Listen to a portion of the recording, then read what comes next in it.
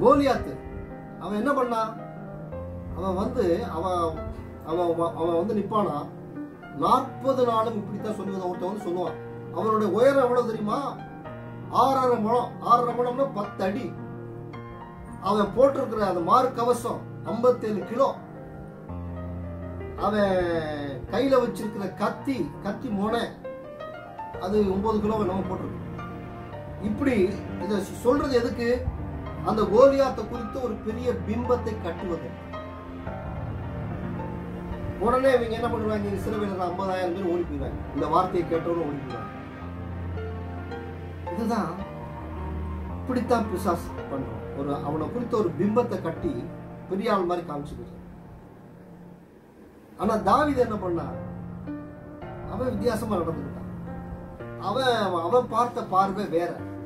யார்? ஒன்று சாமுவேல் பதினேழாம் அதிகாரம். இருபத்தி மூணு அதுல இருபத்தி மூணாவது வார்த்தை படி அவர் அவரோடு பேசிக் கொண்டிருக்கையில் இதோ காத்து நகரை சார்ந்த பெலிஸ்திய வீரனான கோலியாத்து என்பவன் பெலிஸ்தியர் அணிகளின் என்று தோன்றி தான் முன்பு சொன்ன வார்த்தைகளையே மீண்டும் சொன்னான். தாவீது அதை கேட்டார். அந்த பெலிஸ்தியன் காலையிலும் மாலையிலும் நாற்பது நாட்கள் இவ்வாறு சவால் விட்டான். நாற்பது நாளும் இதே மாதிரி சொல்லி நாற்பது நாள் இப்படி சொல்லி ஏமாத்து. ஒரு ஐம்பது பேர் போய் விழுந்து அவனை முடிச்சிருக்கான் ஜோதி. ஆனா அவன் என்ன பண்றான் அந்த மாதிரி ஒரு பெரிய டிசப்ஷன் ஒரு பெரிய பராக்கிரமத்தை காமிச்சு காமிச்சு இவங்க எல்லாம் என்ன பண்றாங்க?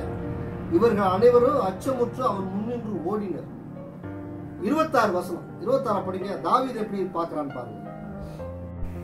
அப்பொழுது தாவீது தம் அருகில் இருந்தவர்களை நோக்கி இந்த பெலிஸ்தியனை கொன்று இஸ்ரேலின் இழிவை நீக்குகிறவனுக்கு என்ன கிடைக்கும்?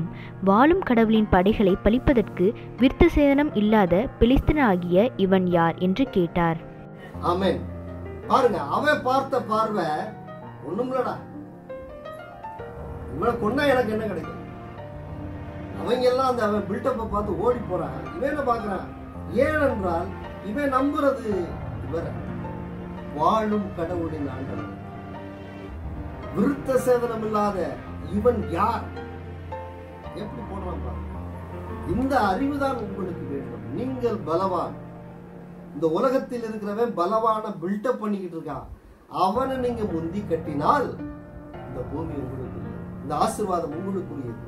உங்களுக்காக தேவன் வைத்திருக்கிற அவ்வளவு ஆசிர்வாதமும் உங்களுக்குரியது. வியாதி உங்களுக்குள் நெருங்க முடியாது. பிரச்சனை உங்களை தொட முடியாது. கடன் உங்ககிட்ட வர முடியாது. எல்லாவற்றையுமே அவனை கட்டினா போதும். கட்ட வேண்டிய ஆளை கட்டிட்டு விட்டுட்டு நம்ம என்ன பண்றோம்? இந்த உலகத்தில் உள்ளவங்களோட சண்டை போட்டுக்கிட்டு கட்ட வேண்டியவன் யாரு? கோலியாத். கோலியாத் என்றால் பிசாசான் அவனை விட்டுட்டு நாம யாரை கட்டிக்கிட்டு இருக்கோம்? இந்த உலகத்துல உள்ள பிரச்சனைகளை பார்த்து பயந்து போயிட்டு அங்கே இருந்து இந்த குருந்தில் அழகா சொல்றாரு பவுல் ரெண்டு குருந்தியர் பதினொன்று மூன்று. ஆனால் ஏவா பாம்பின் சூழ்ச்சியினால் ஏமாற்றப்பட்டதைப் போல நீங்களும் உங்கள் எண்ணங்களை சீரழிய விட்டு கிறிஸ்துவிடம் விளங்கிய நேர்மையையும் தூய்மையையும் இழந்து விடுவீர்களோ என அஞ்சுகிறேன். ஏவாள பாம்பு சூழ்ச்சியினால ஏமாற்றுவது போல உங்கள் எண்ணங்களை சீரழிய விட்டு கிறிஸ்துவிடம் விளங்கிய நேர்மையும் தூய்மையும் இழந்து விடுவீர்களோ என்று அஞ்சுகிறேன் கிறிஸ்து அவர் நேர்மையை நடந்தார். அந்த நேர்மையும் தூய்மையும் நமக்கு அவருடைய ரத்தத்தினால நம்ம கழுவி அதை கொடுத்துட்டார். அவர் ரத்தத்தை கிரயமா கொடுத்து நம்மளை முற்றிலும் கழுவி அந்த நேர்மையும் தூய்மையும் அவர் கொடுத்திருக்கிறார். நமக்கு. பரிசுத்தமுள்ள ஆடை பரிசுத்த அலங்காரமுள்ள ஆடையை நமக்கு அணிவித்திருக்கிறார். இதை இழந்து விடுவீர்களோ என அஞ்சுகிறேன். அவன் ஏமாத்துக்காரன்பா. ஏமாத்துக்கார ஏமாத்தி போடுவான்.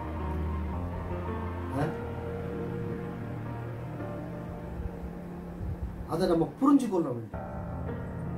ஏனென்றால் இயேசு கிறிஸ்து வல்லமையுள்ள தெய்வம் தேவதூதர்கள் யாவரும் அவரை பணிந்து கொள்ள வேண்டும். பிசாசு வந்து பொய்யை சொல்லி ஏமாற்ற மாட்டான். எப்போதுமே பிசாசு பொய் பொய் சொல்லி ஏமாத்துவான் ஆனால் தீமையை சொல்லி ஏமாத்த மாட்டான் ஒரு தீமையான காரியம்னா உங்களுக்கு சுதாரிச்சுக்கிருக்கீங்க. ஆ அவன் தீ தீமையை சொல்றான் அவன் பிசாஸ் அப்படி இல்லை. அவன் பிசாசே நன்மையை சொல்லி உங்களுக்கு நன்மையை சொல்லி அதற்குள் தீமையை மறைத்து வைத்து கொடுத்துருவான். வாழைப்பழத்துக்குள்ள என்ன பண்ணுவாங்க இந்த இந்த ஒன்று வச்சு கொடுத்துருவோம். இந்த நான் சின்ன பிள்ளையா இருக்கும்போது ஓந்திக்கு என்ன பண்ணுறோம் இந்த புகையிலையை கொடுத்துருவோம் வாயில் வச்சு. திணிச்சு விட்டுருவோம் அதுக்கு திருப்பி நன்மையை போல தீமை நன்மையை காமிச்சு அதுல தீமையை உள்ள வச்சிருக்கோம். ரோமர்ல ஏழு பதிமூணுல இப்படி ஒரு வார்த்தை இருக்கிறது. நன்மையே நமக்கு சாவாக மாறிவிட்டது. அவ்வாறாயின் நல்லது என் சாவுக்கு காரணமாக மாறிவிட்டதா? ஒருபோதும் இல்லை. எல்லாம் பாவத்தின் வேலைதான். பாவம் தன் இயல்பை வெளிப்படுத்துவதற்காக நல்லதொன்றை கொண்டு எனக்கு சாவை விளைவித்தது. இவ்வாறு கட்டளையின் வழியாக பாவம் தன் கொடிய இயல்பை அளவு கடந்த முறையில் வெளிப்படுத்தியது. பாருங்க நல்லதொன்றை கொண்டு எனக்கு சாவை விளைவித்தது. நல்லதொன்றை கொண்டு எனக்கு சாவை விளைவித்தது. ஆவல் ஆவால் பழம் பவுல் சொல்றார். ஆவால் ஏவாள். ஏவாள் என்ன பண்றா? அந்த பழம் வந்து நன்மைக்குமே அறிகிற அறிவின் பழம். அது வந்து நல்லதுதான். நன்மை தீமை அறிஞ்சுக்கிறது நல்லதுதானே ஆனால் அதுக்குள் இருப்பது மரணம். அதை சாப்பிட்டா நமக்கு மரணம். நன்மை தீமை அறிவதன் மூலம் நமக்கு ஏற்படுவது மரணம். அதான் சொல்றான் நல்லதொன்றை கொண்டு எனக்கு சாவை விளைவித்தது. அப்ப பிசாசுடைய காரியம் பூரா எப்படி இருக்கும்? நன்மை போலவே தோன்றும். ஆனால் அதற்குள்ளே உங்களுக்கு மரணம் இருக்கும் அதற்குள்ளே உங்களுக்கு வியாதி இருக்கும் அதற்குள்ளே உங்களுக்கு வறுமை இருக்கும் அதற்குள்ளே உங்களுக்கு கடன் தொல்லை இருக்கும் அதன் அதற்குள்ளே உங்களுக்கு எல்லாமே அதுக்குள்ளதான். டோட்டல் இதுதான் இதை நம்ம புரிந்து கொள்ளும் போது அறிவு தெளிவோடு வெளிப்பாயிருந்து வெளிப்பாயிருந்து ஒன்று பேதர் அஞ்சு எட்டு. அறிவு தெளிவோடு விழிப்பாயிருங்கள். உங்கள் எதிரியாகிய அழகை யாரை விழுங்கலாம் என கர்ஜிக்கும் சிங்கம் போல தேடித் திரிகிறது. எதிர்த்து நில்லுங்கள். அவன் யாரை விழுங்கலாம் என்று கட்சிக்கும் சிங்கம் போல திரிகிறது தேடி திரிகிறது. அவனை எதிர்த்து நின்றான் அவன் பயந்து ஓடி அப்ப நமக்கு தேவை என்ன? அறிவு தெளிவோடு விழிப்பாயிருப்பது. எதிரியுடைய சூட்சுமத்தை தெரிஞ்சுக்கிறது எதிரியுடைய காரியம் என்னவென்று நாம் அறிந்து கொள்வோம். ஆகவே நம்ம இதை புரிந்து கொள்ள வேண்டும். இந்த தீமை வஞ்சகம் சூது எல்லாம் பிசாசானவருடைய தந்திரம் நன்மை கிஃப்ட் மன்னிப்பு பரிசுத்தம் ஆஹ், ஐஸ்வர்யம் ஆரோக்கியம் இவையெல்லாம் தேவன் நமக்கு கொடுக்கிறது இதற்கு இது ஒரு வார்த்தையின் மூலம் நம்ம சொல்றோம் உங்களுக்கு. யாக்கோப்பு ஒன்று பதினாறு. என் அன்பார்ந்த சகோதர சகோதரிகளே ஏமாந்து போக வேண்டாம். நல்ல கொடைகள் அனைத்தும் நிறைவான வரமெல்லாம் ஒளியின் பிறப்பிடமான விண்ணக தந்தையிடமிருந்தே வருகின்றன. அவரிடம் எவ்வகையான மாற்றமும் இல்லை. அவர் மாறிக்கொண்டிருக்கும் நிழல் அல்ல. ஆமீன். பாருங்க ஓப்பனிங்க ஏமாந்து போக வேண்டாம். பாருங்க நல்ல கொடைகள் அனைத்தும் நிறைவான வரமெல்லாம் ஒளியின் பிறப்பிடமான விண்ணக தந்தையிடமிருந்தே வருகிறது. அவரிடம் எவ்வகையான மாற்றமும் இல்லை. அவர் மாறிக்கொண்டிருக்கும் நிழல் அல்ல.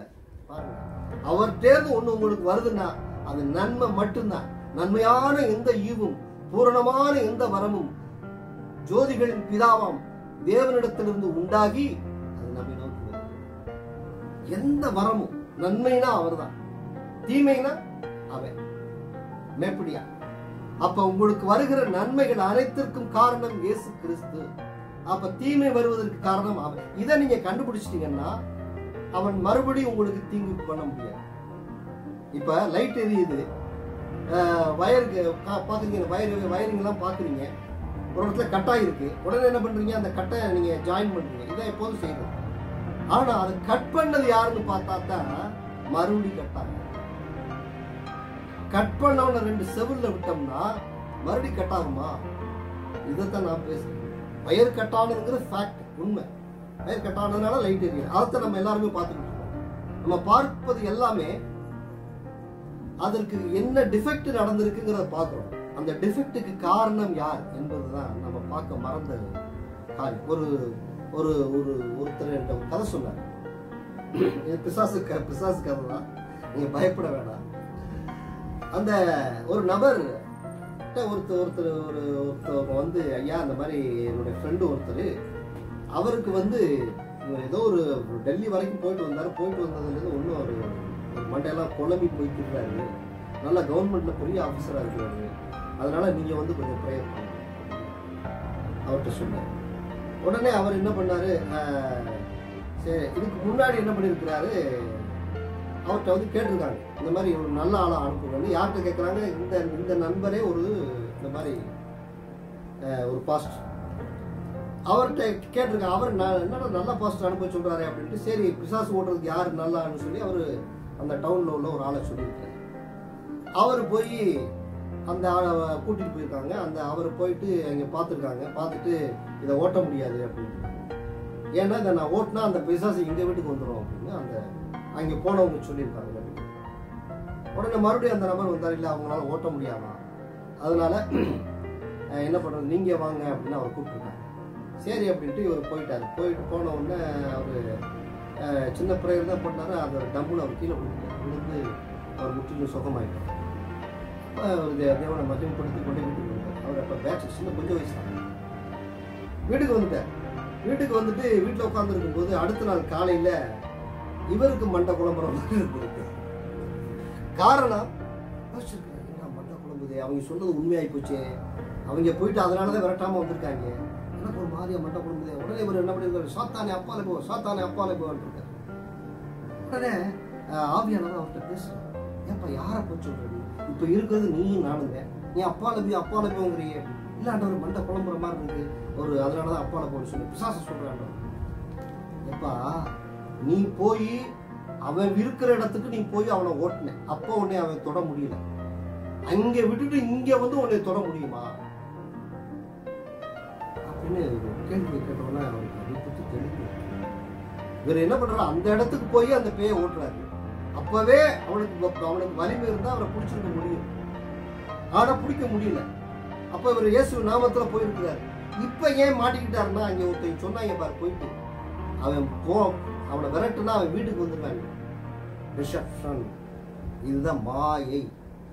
இந்த மாயை தான் நம்மளை போட்டு படுத்தும் மாயையை உண்டு பண்ணுறான் இந்த பாய் அவங்க சொன்ன வார்த்தை இவருக்குள்ள பதிஞ்சு போச்சு. அவன் வீட்டுக்கு வந்து தாக்குவான். அப்படின்னு ஒண்ணு அந்த நினச்சிக்கிட்டே இருந்தது. இவருக்கு உடனே மண்டை குழப்பற மாதிரி ஆயிடுச்சு. அந்த ஒரு தெளிவு வந்து. அப்ப அங்கே போகும்போதே அவனால நம்மளை தொட முடியல. அப்படி இருக்கிற பட்சத்துல இங்கே வந்து நம்மளை தாக்க முடியுமா? என்று அவர் அன்பு புரிந்து கொண்டார். அன்றிலிருந்து அவர் அதை அந்த மாதிரி ஒரு விஷயத்துல அவர் பயப்பட்டதே இல்லை. அது அதான் தெளிவு. அதுக்கு பின்னாடி யாரு என்று ஒரு அறிந்து கொள்கிற தெளிவு. ஏனென்றால் நம்ம எல்லோருக்கும் ஒரு ஒரு வல்லமை அவர் கொடுத்திருக்கிறார். அந்த அந்த பாஸ்டர்ஸ்க்கு மட்டும் கொடுக்கல உங்களுக்கும் கொடுத்திருக்கிறார். எப்படி கொடுத்திருக்கிறார்? நம்பிக்கை கொண்டு பின்வரும் அரும் அடையாளங்களை செய்வர். அவர்கள் என் பெயரால் பேய்களை ஓட்டுவர் புதிய மொழிகளை பேசுவர் பாம்புகளை தம் கையால் பிடிப்பர் கொல்லும் நஞ்சை குடித்தாலும் அது அவர்களுக்கு தீங்கு விளைவிக்காது. இதுதான் உங்களுக்கு அந்த பவர் இருக்கு. பேய்களை ஓட்டுறதுக்கு பவர் இருக்கு. உங்களை பார்த்தா ஓடி போவான். ஆனா நீங்க அவனை பார்த்து ஓடி போறதுனாலதான் அவன் உங்களை விரட்டான் நம்பிக்கை கொண்டோர் இயேசு கிறிஸ்துவின் மேல் நம்பிக்கை கொண்டோர் பின்வரும் அரும் அடையாள அடையாளங்களை செய்வார். என் பெயரால் பேய்களை ஓட்டுவர்.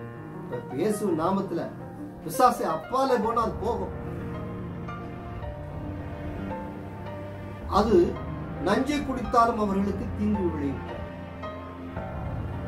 அதாவது வெற்றி இப்போ ரெண்டு போர் நடக்குது. ஒரு ரெண்டு பேருக்கு சண்டை நடக்குது. சண்டை நடக்கும்போது என்ன ஆகும்? இழப்புகள் நமக்கு இருக்கும் வெற்றி நமக்கு கிடைச்சிருக்கலாம். ஆனா சேதமும் இருக்கும். சேதமும் இருக்கும். ஆனா ஆனா சேதமும் இருக்கும். சேதமும் இருக்கும். ஆனா இப்பொழுது நாம் எடுக்கிற ஜெயம் இந்த பிசாசானவனின் மேல் எடுக்கிற ஜெயம் எப்படின்னா அதாவது சேதம் இல்லாத ஜெயம். சேதம் ஒன்று கூட இல்லைங்க. சேதாரம் கூட எதுவுமே இல்லை. அப்படிப்பட்ட ஜெயத்தை கொடுப்பதுதான் தேவனுடைய திட்டம். ஜெயம் கொடுக்கும் தேவனுக்கு கோடி கோடி ஸ்தோத்திரம். வாழ்வழிக்கும் இயேசு ராஜாவுக்கு வாழ்நாளெல்லாம் ஸ்தோத்திரம். அல்லேலூயா ஜெயம் கொடுக்கும் இயேசுவுக்கு கோடி கோடி ஸ்தோத்திரம். வாழ்வழிக்கும் இயேசு ராஜாவுக்கு வாழ்நாளெல்லாம் ஸ்தோத்திரம். அல்லெலுயா அல்லெலுயா பாடுவோம். அல்லெலுயா அல்லெலுயா போற்றுவோம். அல்லெலுயா அல்லெலுயா பாடுவோம். அல்லெலுயா அல்லெலுயா போற்றுவோம். ஜெயம் கொடுக்கும் தேவனுக்கு கோடி கோடி ஸ்தோத்திரம். வாழ்வழிக்கும் இயேசு ராஜாவுக்கு வாழ்நாளெல்லாம் ஸ்தோத்திரம். நீதியின் கருத்தினால் தாங்கியே நடத்துவார். நீதியின் கரத்தினால் தாங்கியே நடத்துவார். எதற்கும் நான் அஞ்சிடேன். கர்த்தரே என்பலன் எதற்கும் நான் அஞ்சிடேன். ஜெயம் கொடுக்கும் தேவனுக்கு கோடி கோடி ஸ்தோத்திரம். வாழ்வழிக்கும் இயேசு ராஜாவுக்கு வாழ்நாளெல்லாம் ஸ்தோத்திரம். அற்புதம் செய்பவர் அகிலம் படைத்தவர். யார் அவர் அற்புதம் செய்பவர். அகிலம் படைத்தவர். யுத்தத்தில் வல்லவர். எதற்கும் நான் அஞ்சிடேன். யுத்தத்தில் வல்லவர். மீட்பர் ஜெயிக்கிறார். ஜெயம் கொடுக்கும் தேவனுக்கு. கோடி கோடி ஸ்தோத்திரம். வாழ்வழிக்கும் இயேசு ராஜாவுக்கு வாழ்நாளெல்லாம் ஸ்தோத்திரம். அவர் யார் நமக்கு? ஜெயம் கொடுக்கிற தேவன். நமக்கு எல்லா அதிகாரம் அதிகாரம் கொடுத்துருக்கிறார். ஒரு குத்துச்சண்டை ஃபைட் நடந்துச்சு. மைக் டைசனுக்கும் ஒயிட் ஃபீல்டு மைக் டைசன் வந்து பயங்கரமான ஒரு ஆபத்தான வீரர். ஒயிட் ஃபீல்டு வந்து ஒரு விசுவாசம் உள்ள கிறிஸ்தவன். இந்த சண்டை நடந்துச்சு. நடக்கும்போது ஃபர்ஸ்ட் ரவுண்டு செகண்ட் ரவுண்ட் எல்லாம் போயிட்டு வரும்போது கடைசியில் ஒயிட் ஃபீல்டு அடிச்சு தூக்கிட்டார். யார? மைக் டேசன் மைக் டேசனை தூக்கி அஹ், அடிச்சிட்டாரு ஜெயிச்சிட்டாரு அறிவிச்சுட்டாங்க. ஒயிட் ஃபீல்டு ஜெயித்து விட்டார். இந்த தோல்வியை பொறுக்க முடியாத மைக் டேசன் இது பண்ண என்ன பண்ணான்? டபார்னு எந்திரிச்சு போய் அந்த ஒயிட் ஃபீல்டு காதை கடிச்சு துப்பிட்டான். இப்ப ஒயிட் ஃபீல்டுக்கு கிடைத்த வெற்றி சேதமுள்ள வெற்றி. காதை கடிச்சு துப்பிட்டாங்க. இப்ப அவனுக்கு கிடைத்த வெற்றி என்னது? ஒரு சேதாரமோத்தோடு உள்ள வெற்றி. இந்த வெற்றியை கொடுப்பது தேவனுக்கு உரியதல்ல. தேவனுக்கு கொடுப்பது என்ன வெற்றி? சேதாரம் இல்லாத வெற்றியை கொடுக்கும். கொடுப்பார் இல்லை சேதாரம் இல்லை. அவர் உங்களுக்கு வெற்றியை கொடுக்கக்கூடிய வல்லமை உள்ள தெய்வமாக இருக்கிறார். லூக்கா பத்து பத்தொன்பது என்ன சொல்லுகிறது என்று பாருங்கள். பாம்புகளையும் தேள்களையும் மிதிக்கவும் பகைவரின் வல்லமை அனைத்தையும் வெல்லவும் உங்களுக்கு அதிகாரம் கொடுத்திருக்கிறேன். உங்களுக்கு எதுவும் தீங்கு விளைவிக்காது. ஆமீன். உங்களுக்கு தீங்கு விளைவிக்காத வெற்றி. எல்லாத்தையும் மேற்கொள்ளவும். பகைவரின் வல்லமை அனைத்தையும் மேற்கொள்ள உங்களுக்கு அதிகாரம் கொடுத்திருக்கு உங்களுக்கு எப்படிப்பட்ட அதிகாரம்னு தெரியாம வாழ்க்கையில வாழ்றதுனாலதான் பிரச்சனை. பிரச்சனை. நோய் வியாதி ஆக்சிடென்ட் இதெல்லாம் எதனால நடக்குது? டிசப்ஷன் பிசாசானுடைய மாய வேலை தந்திர வேலை அவனுடைய பொய் ஆட்டம். பொய் சொல்வதில் அவன் பொய்யனும் பொய்க்கு பிதாவா பொய்க்கு அப்பாவும் அவன் தான் எல்லாமே அவன் தான் அப்ப தீமையான நன்மையான எந்த இவும் பூரணமான எந்த வரமும் ஜோதியின் பிதாவம் தேவனிடத்தில் உண்டாகி அது நம்மிடத்தில் வருகிறது. அப்ப தீமையெல்லாம் யார்கிட்ட இருந்து வருது? யோவான் பத்து பத்து. தீமை யாரிடமிருந்து வருகிறது? திருடுவதற்கும் கொல்வதற்கும் அழிப்பதற்கும் அன்றி திருடர் வேறொருவதற்கும் வருவதில்லை. ஆனால் நான் ஆடுகள் வாழ்வை பெறும் பொருட்டு அதுவும் நிறைவாக பெறும் பொருட்டு வந்துள்ளேன். ஆமேன். ஆமென். பாருங்க திருடன் கொல்லவும் அழிக்கவும் வந்தானே என்று வேறு ஒன்றுக்கும் வரான். அவன் எதுக்கு வருவான்? ஏதாவது ஒரு பொய் சொல்லிட்டு உங்கள்ட்ட உங்கள்ட்ட நேரடியாக வரமாட்டான். ஏதாவது பின்பக்கம் வந்து காரியத்தை பண்ணுவான். உங்களுக்கு என்ன பண்ணுவான் ஒரு ஆக்சிடென்ட்டை கொடுத்து கையில பிரச்சனை காலில் பிரச்சனை கொடுப்பான் இதை கொடுத்தது பிசாசுன்னு நீங்க எப்ப நம்புறீங்களோ உங்களுக்கு சுகமா உங்களுக்கு கணவன் மனைவிக்குள்ள பிரச்சனை. எல்லாம் நடக்குது தீமைகள் நடக்குது. இவை எல்லாவற்றுக்கும் காரணம் பிசாசானவன் என்று நீங்கள் புரிந்து கொள்ளும்போது அவன் ஓடி போவான். ஆக திருடன் அவன் வர்றதோட நோக்கம் உங்களை அழிப்பதுதான். ஏதாவது பிரச்சனையை கொடுப்பான் வியாதியை கொடுப்பான் எல்லாத்தையும் கொடுத்து கடைசியில உங்களுக்கு மரணத்தை கொடுப்பது அவனுடைய திட்டமாக இருக்கும் அப்ப அதை நீங்க ஜெயிக்கணும்னா அவனுடைய அதிகாரத்தை ஒண்ணுமே இல்லைன்னு நீங்க புரிஞ்சுக்கணும். ஏன்னா அதிகாரம் உங்களுக்கு கொடுக்கப்பட்டிருக்கிறது. பாம்புகளையும் தேள்களை மிதிக்கவும் பகைவரின் வல்லமையும் மேற்கொள்ளவும் உங்களுக்கு அதிகாரம் கொடுத்திருக்கிறது. யார் சொன்னது நான் சொல்லலைங்க. இயேசு கிறிஸ்து சொன்ன வார்த்தை. பகைவரின் வல்லமை அனைத்தையும் வெல்லவும் உங்களுக்கு அதிகாரம் கொடுத்திருக்கிறது. சாத்தானின் சகல தந்திரங்களையும் வெல்லவும் உங்களுக்கு அதிகாரம் கொடுத்திருக்கிறது உங்கள் தலைமுடி ஒன்றும் கீழே விழாது. தலைமுடி ஒன்றும் கூட ஒன்று கூட கீழே விழாது. ஒன்றும் கூட ஒன்று கூட கீழே விழாது. கடையில போய் ஒரு ஒரு பொருள் வாங்குறீங்க. நூறு ரூபா கொடுக்குறீங்க. அந்த அவன் தொண்ணூறு ரூபாய்க்கு பொருளை கொடுத்துட்டு பத்து ரூபாய் கொடுக்கலன்னா நீங்க என்ன பண்ணுவீங்க? எனக்கு நூறு ரூபாய்க்கு பொருள் கொடுன்னு வாங்குவீங்களா இல்லையா? இல்லைங்க அதை தொண்ணூறு ரூபாய் கொடுத்துருக்கங்கல்ல. தொண்ணூறு ரூபா கொடுத்து நான் கொடுத்தது நூறு தொண்ணூறுரூவாய்க்கு தொண்ணூறு ரூபாய்க்கு பொருள் வாங்கிட்டு ஏதோ வாழ்ந்து போவோம் என்ற வாழ்க்கையை நமக்கு தேவன் வைத்திருக்கவில்லை. குறைவுள்ள வாழ்க்கை நமக்கு இல்லை. நிறைவான வாழ்க்கை தான் தேவன் நமக்கு வைத்திருக்கிறது. நிறைவான வாழ்க்கை என்றால் என்ன வாழ்க்கை? வறுமையற்ற வாழ்க்கை வியாதியற்ற வாழ்க்கை. ஒரு ஒரு தே தேவனுடைய பிள்ளை என்று சாட்சியாக இருக்கிற வாழ்க்கை. நீங்க போனா சொல்லணுங்க.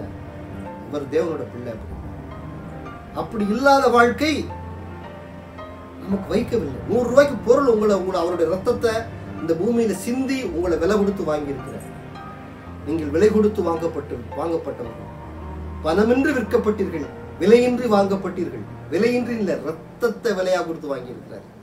ரத்தம் சும்மா இல்லைங்க. ஒரு விஞ்ஞானி என்ன பண்ணாரு? இந்த பெட்டகத்தை ஆராய்ச்சி பண்ணார். இந்த பெட்டகம் அந்த ஆரம்ப காலத்தில் இஸ்ரேல் மக்கள் ஒரு பெட்டகத்தை சு சுமந்து கொண்டு போனாங்க. அதான் உடன்படிக்கை பெட்டகம் அந்த பெட்டகம் இப்போ எங்கே இருக்குன்னு யாருக்கும் தெரியல. இது எங்கே கடைசியாக இருந்தது? கடைசியாக இருந்தது அந்த பாபிலோன் நாடு கடத்தப்படுவதற்கு முன்பாக அந்த ஆலயத்தில் இருந்தது. நாடு கடத்தும் போது கடைசியாக அந்த தீர்க்கதரிசி உள்ள மட்டும் இசைக்கியல் மட்டும் இருந்தார். அப்போ இது எங்கே போயிருக்கும் இந்த பெட்டி அப்படின்னு அவர் எல்லா இடம்ல தேடி அடைஞ்சார் கடைசியில் அதை கண்டுபிடிச்சார். அது எங்கே தெரியுமா இருந்தது? அந்த உடன்படிக்கை பெட்டி கொல்கத்தா என்கிற மண்டையோடு என்கிற மலை இயேசு கிறிஸ்து சிலுவையில் அறையப்பட்ட இடத்திற்கு கீழே குகையிலே அந்த பெட்டி இருந்தது என்று அவர் உள்ள போயிட்டாரு. உள்ள குகை வழியாக உள்ள போயிட்டாரு. உள்ள அந்த நீங்க இதுல கூட பார்த்துருக்கலாம். அந்த கல் கொல்கத்தா மண்டையோடு என்கிற மலை எப்படின்னா புது புதா தெரியும். நிறைய அந்த இதுலலாம் இதுல போடுறாங்க. அது மாதிரி நிறைய குகை இருக்கும். ஒரு அதாவது தேனி கூடு மாதிரி நிறைய குகை இருக்கும். இது இல்லை இதுல உள்ள ஏதோ ஒரு இடத்துல போய் அந்த உடன்படிக்கை பெட்டி இருக்கு. அதை அவரால் எடுத்துட்டு வர முடியல வந்துட்டாரு. அதுல இன்னொன்று ஒரு அதிர்ச்சியான செய்தி. அந்த சிலுவை மரம் ஊன்றப்பட்ட இடத்துல அந்த பாறை வெடிப்பு இருக்கும் நல்ல வெடிப்பு நிறைய வெடிப்பு இருந்துருக்கு அதாவது நம்ம பைபிளில் படிக்கிறோம் அவர் சிலுவையில் உயிர் விடும்போது பூமி அதிர்ந்தது அந்தகாரப்பட்டது என்று எழுதப்பட்டிருக்கிறது. பூமி அதிரும் போது அந்த அந்த பாறை வெடிச்சிருக்கு. அப்ப இவர் சிந்திய ரத்தம் அந்த அந்த இடு வெடிப்பின் வழியாக உள்ளே சென்று அந்த பெட்டி இருக்கு பாருங்க உடன்படிக்கை பெட்டி அந்த பெட்டியை நினைச்சிருக்கு. அதிலிருந்து சில டிராப்ஸ் எடுத்திருக்கிற ரத்தத்தை எடுத்து சோதனை செய்ய அவர் இஸ்ரேல் தேசத்துல கொடுத்துருக்கிறார் சயின்டிஸ்ட் இதில் என்ன பிளட் இது என்ன பிளட் அப்படின்னு. கடைசியில் அந்த பிளட்டை சோதிக்கும் போது பல ஆச்சரியமுள்ள தகவல்கள் வந்தது. அதில் ஒன்று அந்த இப்போ நமக்கெல்லாம் பிளட்டை டெஸ்ட் பண்ணோம்னா இருபத்தி மூணு குரோமோசோம் ப்ளஸ் இருபத்தி மூணு குரோமோசோம் மொத்தம் நாற்பத்தாறு குரோமோசோம் நம்முடைய ரத்தத்தில் இருக்கும். தாய் வழியாக வந்த இருபத்தி மூன்று தந்தை வழியாக வந்த இருபத்தி மூன்று மொத்தம் நாற்பத்தாறு குரோமோசோம் உள்ளவன் தான் மனிதன். ஆனால் இயேசு கிறிஸ்துவின் குரோமோசோம் எத்தனை தெரியுமா? இருபத்தி நான்கு அந்த பிளட்டில் இருந்த குரோமோசோமு இருபத்தி நான்கு குரோமோசோம். அதாவது அன்னை மரியின் குரோமோசோம் இருபத்தி மூன்று பரிசுத்தாவியானவருடைய அபிஷேகத்தினால் கிடைக்கப்பட்ட ஒன்று. இருபத்தி மூன்று ஒன்று இருபத்தி நாலு குரோமோசோமில் தான் அவர் வாழ்ந்தார். அந்த இதில் இப்போ அந்த பைபிள் உள்ள உண்மை எப்படி வருது பாருங்க. அந்த பிளட் இன்னமும் அந்த பிளட் உயிர் உள்ளதாக இருக்கா? ஆராய்ச்சி பண்ணவங்க ஆச்சரியப்பட்டு போனாங்க எத்தனை ரெண்டாயிரம் வருஷத்துக்கு மேலே ஆச்சு. அந்த பிளட்டுடைய அந்த சாம்பிளை அவர் எடுத்துகிட்டு போய் டெஸ்ட் பண்ணதில் எவ்வளோ பெரிய ஆராய்ச்சி. அப்போ உங்களுக்காக அந்த உடன்படிக்கை பெட்டி என்னது? அதில் வந்து ஆச்சாரியன் போய் வெள்ளாட்டு கிடாய பலியிட்டு அதில் அதில் தெளிக்கணும். தெளிச்சா பாவம் பண்ணிட்டு இது பழைய உடன்படிக்கை. இயேசு கிறிஸ்து தன்னுடைய ரத்தத்தையே அந்த பலிப்பிடத்தில் ஊத்துறாரு. அந்த உடன்படிக்கை பெட்டியில பிதாவே இவர்கள் என்னதென்று அறியாது இருக்கிறார்கள் இவர்களை மன்னியும் என்று தன்னுடைய அஞ்சரை லிட்டர் ரத்தத்தை எடுத்து பிதாவிட்ட மன்னிப்பு கேட்கிறார். அதன் மூலம் கிடைக்கப்பட்ட வாழ்க்கை நமக்கு. அதன் மூலம் கிடைக்கப்பட்ட வாழ்க்கை நமக்கு விலை விலையேற பெற்ற ரத்தம் அவ்வளவு விலையில்லாத மதிப்பில்லாத அந்த ரத்தத்தை கொடுத்து உங்களை விலைக்கு வாங்கியிருக்கிறார். ஆனா நீங்கள் வியாதிகளோடும் வறுமையோடும் கடன்களோடும் துன்பங்களோடும் வாழ்வதற்காக நீங்கள் ஆசீர்வாதம் நிறைவான எந்த வரமும் பரிபூர்ணமான எந்த ஈவும் ஜோதிகளின் பிதாவாம் தேவனிடத்தில் உண்டாகி அங்கே அங்கே உண்டாகி இங்கே பூமிக்கு உங்களுக்கு நீங்க வந்து விலைக்கரையும் அதிகமாக கொடுக்கப்பட்டு வாங்கப்பட்டிருக்கிறது. எனவே அதனுடைய மதிப்பை நீங்கள் உணர்ந்து கொள்ள வேண்டும். எந்த ஒரு சிறு துன்பத்துக்கும் நீங்கள் நீங்கள் நீங்க வந்து கண்டுபிடிக்கணும். இதுக்கு பின்னாடி யார் இருக்க? அவனை விரட்டுங்க. அதுக்கப்புறம் அந்த துன்பம் உங்களை அணுகாது. எனவே அன்புள்ள தேவ பிள்ளைகளே நாம் தேவனிடத்தில் அவர் நம் மீது அன்பாக இருக்கிறார். நாம் அவரோடு இணைந்திருக்க வேண்டும். அப்பொழுது சாத்தான் இந்த தெளிந்த புத்தி உங்களுக்குள்ளே வேண்டும். இன்னும் பல காரியங்கள் இருக்கிறது. இனி வரும் கால வாரங்களிலே இதை இன்னும் தெளிவா இன்னும் டாக்குமெண்ட் டாக்குமெண்டா பார்க்க போறோம். அவனுடைய பொய்யாட்டம் என்ன என்ன என்னன்னு பார்க்க போறோம். அதனாலே அது அந்த தெளிந்த புத்தி உங்களுக்கு இன்று வந்திருக்கிறது. அவன் இந்த எல்லா பிரச்சனைகளுக்கும் காரணம் அவன் தான் என்ற ஒரு அறிவு உங்களுக்குள்ளே வருமானால் தேவன் தேவன் வைத்திருக்கிற நிறைவான அந்த ஆசீர்வாதத்திற்கு உரிமை உள்ளவர்களாக சொந்தக்காரர்களாக எனவே எல்லாரும் கண்களை மூடலாம். நிறைவு பகுதிக்கு வந்துவிட்டோம். கண்களை மூடி ஒரு சின்ன ப்ரேயர் பண்ணுறேன் எல்லாரும் ஒப்பு கொடுங்க இந்த நேரத்தில் உங்களுடைய வியாதிகள் இருக்கலாம் உங்களுக்குள்ளே பிரச்சனைகள் இருக்கலாம் உங்களுக்குள்ளே துன்பங்கள் இருக்கலாம் உங்களுக்குள்ளே கடன் இருக்கலாம் நீங்கள் குடும்பங்களில் உறவுகளில் உறவுகளிலே பிரச்சனை இருக்கலாம். அந்த பகை இந்த பகை எங்கு போனாலும் பகை தான். எல்லா பகைக்கும் ஒரே ஒரு காரணம் பிசாசானது. அந்த டெவில் டிசப்ஷனை புரிந்து கொள்வோம். இந்த நேரத்தில் நாம் புதியதொரு காரியத்தை பண்ணலாம். அன்பும் நீதியும் நிறைந்த பரலோக பிதாவே. இதோ இந்த வேளையில் உங்களை நன்றியோடு ஸ்தோத்தரிக்கிறோம். நீர் நல்லவர் என்று. ஸ்தோத்திரம் ஆண்டவர் நன்றி இயேசுவே நன்றி இயேசுவே. அப்பா ஸ்தோத்திரம் தகப்பனே. இதோ இங்கு கூடியிருக்கிற ஒவ்வொருவரையும் ஆசீர்வதியும் ஆண்டவரே பலவானை முந்தி கட்டினால் ஒழிய வீட்டை கொள்ளையடிக்க முடியாது. நாங்கள் அந்த அசுத்த ஆவி அந்த பொல்லாத ஆவி அந்த பிசாசானவனை அறிந்து கொண்டு அவனை எதிர்த்து நிற்க எங்களுக்கு தைரியத்தை கொடுத்த தேவனே உமக்கு நன்றி தகப்பனே. அவனை நாங்கள் முந்தி கட்டுகிறோம் தகப்பனே. எங்களுடைய வாழ்க்கையிலே வருகிற எல்லா துன்பத்திற்கும் அவன்தான் காரணம் என்று நாங்கள் அறிந்து கொண்டிருக்கிறோம் தகப்பனே. அவனுடைய வாயை நாங்கள் கட்டுகிறோம் தகப்பனே. அவன் பேசுவதெல்லாம் பொய் என்று நாங்கள் அறிந்திருக்கிறோம். அவற்றை நாங்கள் முதலில் கட்டுகிறோம் தகப்பனே.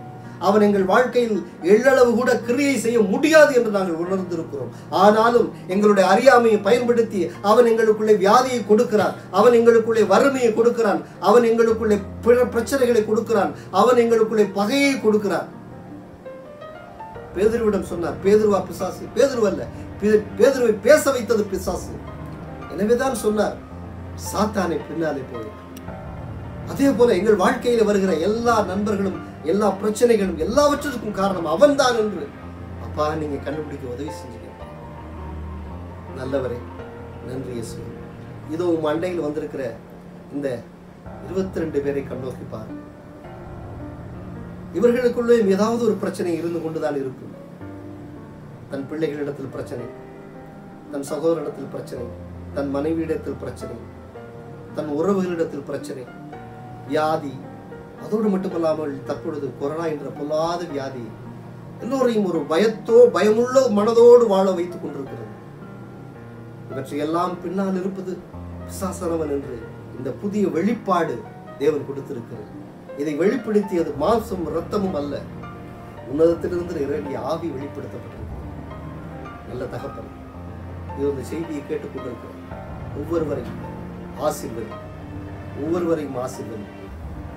அவர்கள் வியாதியில் இருக்கிற அந்த நிமிஷங்கள் ஒன்றுமில்லாமல் போவதாக அவர்கள் இழந்த போனவைகளை மறுபடி ஒன்றுக்கு இரட்டத்தனையாக திருப்பி கொடுக்க வேண்டும் தகப்பனே அவர்கள் இன்று வியாதியிலே துக்கப்பட்டதினாலே அடிபட்டதினாலே அவர்கள் வாழ்க்கையில பல காரியங்களை இழந்து போயிருக்கலாம். ஆனாலும் நீர் திருப்பி கொடுக்கக்கூடிய வல்லமை உள்ளவர். நம்புகிறோம் அப்பா. அதே போல எங்களுக்குள்ளே வாழ்க்கையில் உள்ள ஒவ்வொரு சின்ன சின்ன கோபம் ஆஹ், பிணக்கு பகை கசப்புணர்வு வெறுப்பு வெற்றியெல்லாம் இயேசுவின் ரத்தத்தினாலே நாங்கள் கழுவுகிறோம் அப்பா.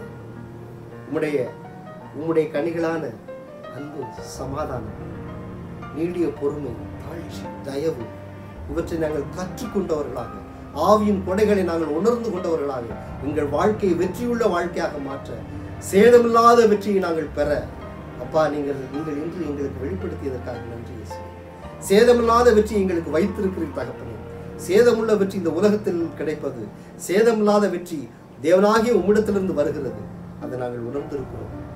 இந்த செய்தியை கேட்டிருக்கிற ஒவ்வொருவரையும் அப்பா நான் ஆசீர்வதிக்கிறேன் இவர்களை முற்றிலும் சுகப்படுத்த இவர்களை முற்றிலும் இவர்கள் வறுமையிலிருந்து விடுவித்தரும். இவர்களை முற்றிலும் இவர்களுடைய பிரச்சனைகளிலிருந்து வெளிக்கொண்டு வாரும்.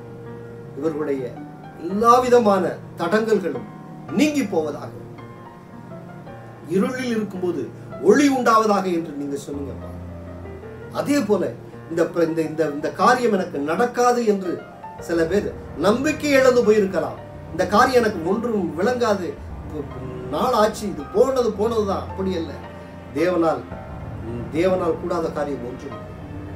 எனவே அது இந்த நம்பிக்கையற்ற சூழ்நிலையில் இருக்கிறார்கள் சில பேர். இருக்கலாம். ஆனால் அந்த நம்பிக்கையற்ற இடத்திலிருந்து நம்பிக்கை கொடுக்கக்கூடிய தேவன் நீர் மட்டுமே. உம்மால் கூடும் தகப்பனே உம்மால் கூடும் ஆண்டவரே. ஒவ்வொருவருடைய வாழ்க்கையின் பின்னால் இருக்கிற அந்த நம்பிக்கை இழந்து போன தருணங்களை நீர் கொண்டு வாருத்த தகப்பனே.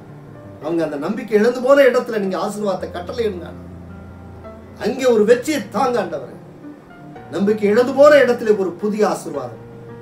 ஆபிரகாம் தொண்ணூத்தெட்டு வயதான போது அவன் நம்பிக்கை இழந்து போன நம்பிக்கை அவன் நான் குழந்தை பெற்றுக்கொள்ள முடியாது என்ற நம்பிக்கை அவனுக்குள்ள இருந்தது. ஆனால் அந்த இடத்திலே அவனுக்கு நீர் குழந்தையை தர வல்லவராக இருக்கிறீர் ஆபிரகாம் தொண்ணூத்தெட்டு வயதிலே குழந்தை பெற்றான்.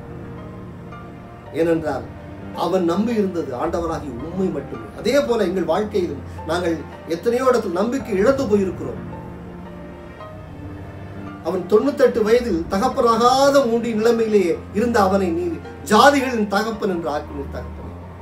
எந்த இடத்துல அவன் வீக்னஸா இருக்கானோ அந்த இடத்திலே அவனை உயர்த்தினீர் தகப்பனே. எந்த இடத்துல நாங்கெல்லாம் விழுந்து போய் கிடக்கிறோமோ எந்த காரியத்தினாலே நாங்கெல்லாம் நொறுங்கி போயிருக்கிறோமோ அந்த இடத்துல நாங்கள் நின்று பிரகாசிக்க தேவரி உதவி செய்யும் எந்த இடத்துல நாங்கள் ஆஹ், எங்கள் நாங்கள் வெட்கப்பட்டு போயிருக்கிறோமோ இந்த காரியம் எனக்கு வெட்கமாக இருக்கிறது. வெளியே பேச முடியலை என்று எங்கு வெட்கப்பட்டு இருக்கிறோமோ அங்கு எங்களை உயர்த்துமே தகப்பன். எல்லாம் உம்மால் கூடும் தகப்பன். உம்மால் கூடாத காரியம் ஒன்றுமில்லை தகப்பன். நீர் வல்லமையுள்ள தேவன். நன்றி இயேசுவே. இந்த கூடுகையில் கூடியிருக்கிற ஒவ்வொருவரையும் ஆசிரியர் குறிப்பாக இந்த ஜெப வேளையில பங்கேற்ற ஒவ்வொருவரும் சிறப்பு பாடல் பாடியவர்களையும் தூயாவியானவர்கள் ஜெபம் செய்தவர்களையும் ஒருங்கித்து நடத்தியவர்களையும் ஜெப குறிப்பு செய்தவர்களையும் அப்பா நீ இந்த ஜெபங்கள் ஏதோ பேருக்கு சொல்வதல்ல. நாங்கள் பெற்றுக்கொண்டோம் என்ற நம்பிக்கையிலே சொல்லுவோம். நீங்கள் ஜெயிப்பதற்கு முன்பாக பெற்றுக்கொண்டீர்கள் என்ற நம்பிக்கையோடு கேளுங்கள் என்று சொன்ன தெய்வமே அதே நம்பிக்கையோடு நாங்கள் கேட்கிறோம். ஜெபம் கேளும். நல்ல பிதாவே. பிரைசலா பிரைசலா பிரைசலா